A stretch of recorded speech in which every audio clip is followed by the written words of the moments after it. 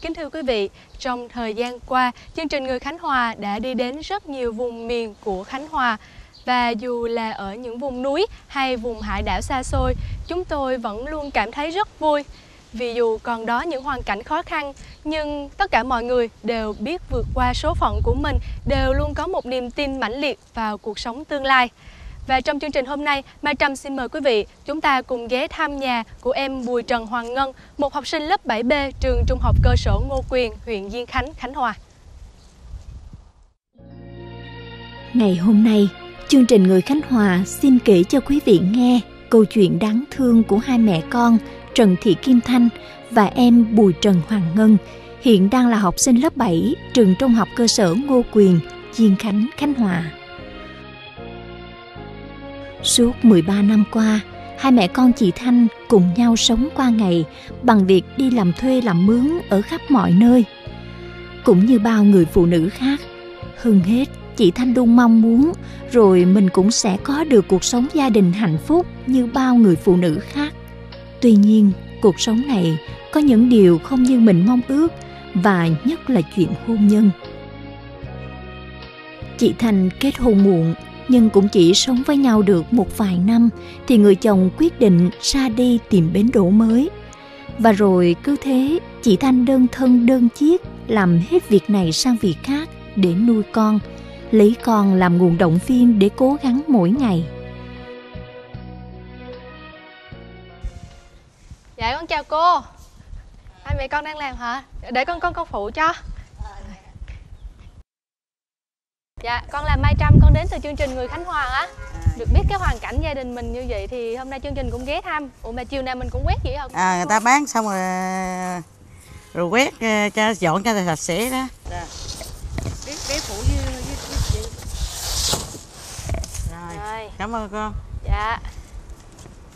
Hay mình ra ngoài kia đi ra, ha. ra chỗ dạ. mát mát á. Đây mát đây.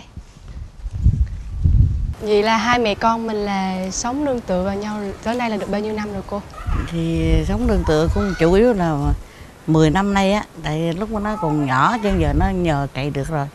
Chứ hồi lúc nó nhỏ chị chứ bắt đầu năm số tuổi đó bắt đầu nó là đã nhờ nó được rồi.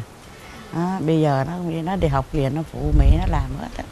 Từ đó đến nay là một khoảng thời gian rất là dài đúng không cô? Mười mấy Dạ. năm rồi. Không biết là trong cái khoảng thời gian đó thì có cô gặp những cái điều gì khó khăn không ạ? Có chứ, có lúc có căn cô nghĩ chắc cho bé nó nghỉ học lại, cô nó nói, không đủ tiền ăn, tiền đâu đi học. Tiền ăn hàng ngày là cô không đủ đôi lúc. Phải nói đôi lúc um, trong nhà cô không có được một ngàn đồng bạc đó. Nghĩ ban đêm mà hai mẹ con mà bệnh là con phương tiện thì không có, mà tiền bạc thì cũng không. Có khi hai mẹ con đói luôn, thậm chí còn có chút xíu gì nấu cháo ăn. Mà bây giờ nếu mình đi xin xỏ người ta thì cũng cái lòng tự trọng của mình đó mình cũng nó cũng không có. Rồi hai mẹ con cũng vượt qua. Có gì ăn nấy nhưng mà trời thương chị xong cái ngày mai cái cô khỏe mạnh kiếm công chuyện đi làm có người kêu cái đi làm. Hàng ngày thì mình làm những công việc gì cô ha? từ ngày về cô thì bây giờ cô cũng lớn tuổi rồi tay chân nó đau yếu không có làm việc nặng đền nặng được. Việc nhẹ ở gần chợ này người ta nhờ cái gì thì cô làm. Người ta kêu ra nhiều khi mấy người ta à, nhờ lột bắp hay là lột hột sen rồi có người mấy hàng thịt heo thì nhờ cạo lông heo rồi vậy á. Buổi sáng không? à, buổi sáng chợ này ế lắm buổi sáng bán cái chút à, à nghỉ rồi chiều quét chợ rồi vậy nè. Có gì người ta cho nấy. Rồi, rồi những lúc rảnh đó thì ai ta giữ em bé hay là ta à, còn nấu đám tiệc tùng vậy đó cô tới phụ rửa chén lặt rau. Rồi ta cho năm ba ngàn một hai ký gạo rồi vậy ăn. đó, cuộc sống cô như vậy qua năm suốt tháng là gì vậy Tuy năm nay mới 13 tuổi, nhưng Ngân cao đến hơn 1m70.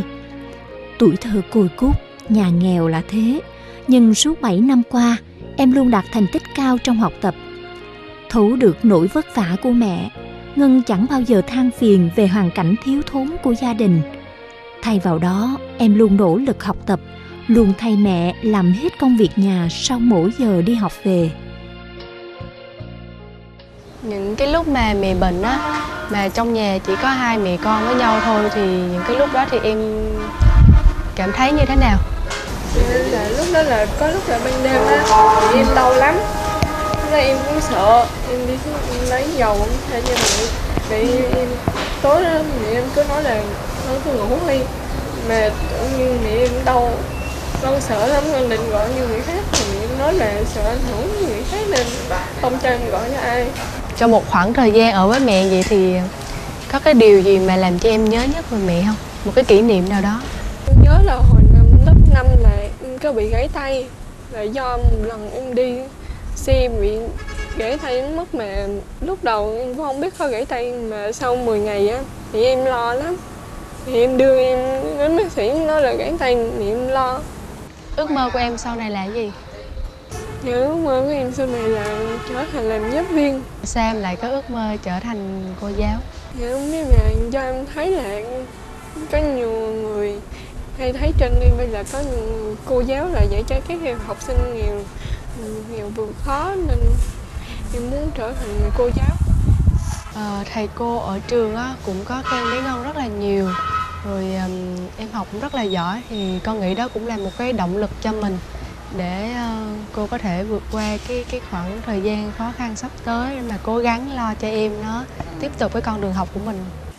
Thì cô cũng mong vậy á, giờ cô lớn tuổi là nuôi nó ngày nào hay ngày đó rồi nếu có điều kiện cái phép màu nào đó để cho cho nó tiếp tục nó học, nó nhờ bản thân đó. Cho cô bệnh biết cách đây mấy tháng cô bệnh liệt giường, liệt chiếu luôn, nằm ờ, đi cầu đi tiểu một chỗ luôn. Nó làm cho cô hết, nó học giỏi lắm mà ờ, không cô không có tiền cho nó học thêm học học gì môn gì đó tự nó học hết. Ba tháng hè con người ta đi học con mình ở nhà để giữ em bé. Ngôi nhà nhỏ tiền toàn siêu vẹo, yếu ớt, chống chọi giữa mưa, giữa nắng, lại là tổ ấm đầy niềm yêu thương của hai mẹ con chị Kim Thanh và Hoàng Ngân.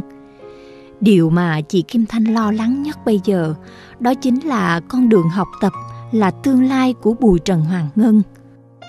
Đơn chiếc, sức khỏe lại yếu, chỉ sợ lỡ một ngày nào đó chị Kim Thanh nằm xuống thì Hoàng Ngân rồi sẽ ra sao? Hôm nay đến thăm gia đình thì chương trình Người Khánh Hòa cũng có một cái phần quà nhỏ gửi tặng cho em là một suất học bổng trị giá 5 triệu đồng.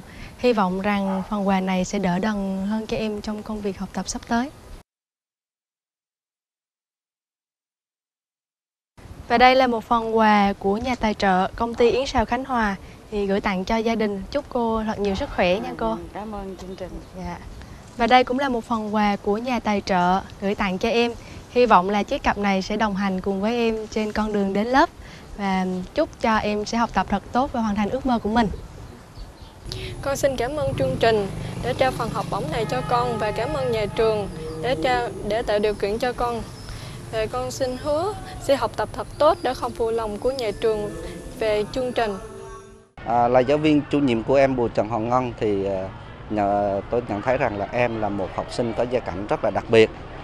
Không có bố, mẹ thì lớn tuổi, gia đình rất là khó khăn. Và trong học tập thì em học tập rất là tốt, năng nổ giúp đỡ bạn bè và luôn tích cực trong mọi phong trào. Về phía nhà trường thì cũng đã có cố gắng giúp đỡ tạo điều kiện cho em nhưng mà tôi rất mong được sự giúp đỡ của các nhà hảo tâm, các mạnh mạnh thường quân để giúp đỡ em tốt hơn trong công việc học tương lai của em. Mong rằng với tình yêu thương vô bờ bến của mẹ, Ngân rồi sẽ vượt qua ranh giới của cái nghèo để vươn đến một chân trời mới hơn, nơi mà chị Thanh có thể mỉm cười nhìn thấy Ngân hạnh phúc và thành công. À, anh Mai Nguyên à, cùng với Quỳnh Trâm, cùng với à, quý vị khán giả đang xem chương trình à, cũng vừa thấy những hình ảnh mà chương trình cũng đã kịp thực hiện để phát sóng trong chương trình hôm nay về một hoàn cảnh của một em học sinh ở Diên Khánh. Em cũng rất là khó khăn. Vậy thì khi xem những cái hình ảnh này anh có sự đồng cảm gì và muốn chia sẻ gì? Lúc nhỏ mà mình xong học lớp 12 vào Sài Gòn thì cũng như các bạn trẻ khác bây giờ, tức là đạp xe đạp đi học và à, vài nghìn trong túi để ăn sáng và để gửi xe hàng ngày thôi. Cho nên là mình từ cái chỗ đó cho tới ngày hôm nay thì mình cảm nhận được những cái hoàn cảnh của các bạn trẻ như bạn Ngân ở Duyên Khánh đây thì rất là đáng thương. Thì ờ, nói chung là ai cũng có những cái hoàn cảnh riêng và bất cứ những cái sự thành công nào cũng đều có một cái giá và một cái sự nỗ lực rất lớn của cái người đạt được cái sự thành công đó. Và cũng thông qua chương trình người Khánh Hòa thì cũng mong ờ, tất cả chúng ta là người con, người dân ở Khánh Hòa sẽ chung tay góp sức và giúp đỡ cho tất cả các bạn trẻ có những cái hoàn cảnh khó khăn à, có những cái điều kiện để họ vượt lên, họ vươn lên trong cái cuộc sống yeah. Dạ. Xin được cảm ơn những chia sẻ của anh và đó cũng chính là mục đích phát sóng mà chương trình Người Khánh Hòa mong muốn giới thiệu đến quý vị khán giả, giới thiệu đến những à, doanh nhân thành đạt như anh để mong muốn rằng chúng ta mỗi người một tay dù ít hay nhiều bằng vật chất hoặc cả tinh thần thì chúng ta sẽ giúp cho những mảnh đời như em Ngân sẽ vượt qua được những cái khó khăn để chỉ là tiếp tục được đi học cũng đã là một niềm vui cho các em rồi. À, à thưa anh Nguyên, à, Quỳnh Trâm cũng xin phép thay mặt cho những người thực hiện chương trình Người Khánh Hòa à, gửi anh một món quà à, mình tạm gọi đây là món quà tinh thần ha. Bởi vì nó chỉ là một cái tấm kỷ niệm chương trong đó có um, khắc dòng chữ của chương trình người Khánh Hòa. Để mong rằng anh sẽ có thêm một kỷ niệm đẹp. À, cảm ơn à, Quỳnh Trâm và cảm ơn à, tất cả khán thính giả của đài à, truyền hình Khánh Hòa và đặc biệt là chương trình người Khánh Hòa. Dạ, xin cảm ơn. Thưa quý vị, câu chuyện về bước đường khởi nghiệp kinh doanh và sự thành công của doanh nhân Mai Nguyên với chuỗi cửa hàng kinh doanh thiết bị ờ, công nghệ cùng với điện thoại di động cũng đã đem đến cho quý vị khán giả và đặc biệt các bạn trẻ đang muốn khởi nghiệp ờ, những kinh nghiệm cũng như là bản lĩnh, sự tự tin để các bạn có thể ờ, bước vào con đường kinh doanh của mình thật sự là thành công với niềm đam mê và biết nắm bắt cơ hội vượt qua thử thách. À, chương trình Người Khánh Hòa trong thời gian vừa qua cũng đã nhận được rất nhiều sự quan tâm yêu mến, chia sẻ của những tấm lòng vàng, những nhà hảo tâm để giúp đỡ cho những ờ, mảnh đời có hoàn cảnh khó khăn mà chúng tôi giới thiệu trong chương trình. Cũng hy vọng rằng quý vị quan tâm, theo dõi và nhớ đón xem chương trình Người Khánh Hòa được phát sóng vào mỗi tối Chủ nhật khung giờ là 20 giờ 10 phút. À, chúng tôi cũng xin chân thành cảm ơn Yến Sào Khánh Hòa đã đồng hành cùng với chương trình. Mọi ý kiến đóng góp và thư từ gửi về cho chương trình quý vị vui lòng gửi về địa chỉ Đài Phát thanh và Truyền hình Khánh Hòa số 70 đường Trần Phú, thành phố Nha Trang. Chào tạm biệt quý vị và hẹn gặp lại trong những chương trình lần sau. Yến Sào Khánh Hòa, nguồn bổ dưỡng thiên nhiên diệu kỳ.